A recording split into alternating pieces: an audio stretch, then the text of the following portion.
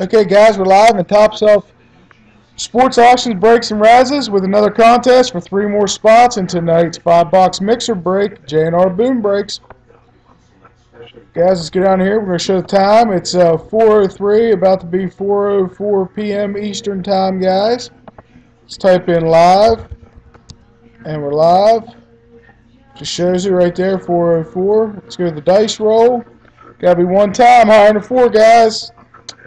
Six. Six is our number.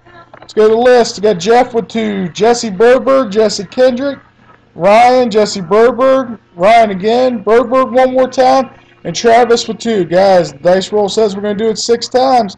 After six spins, the top three people get a spot in the break tonight.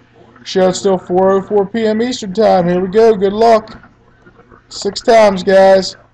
One, two, three, four, there's five. Dice roll said we're going six, or six it is.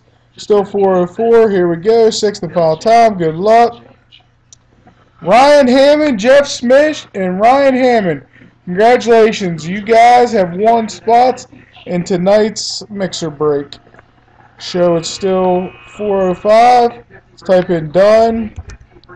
Done. 405. Thanks, guys.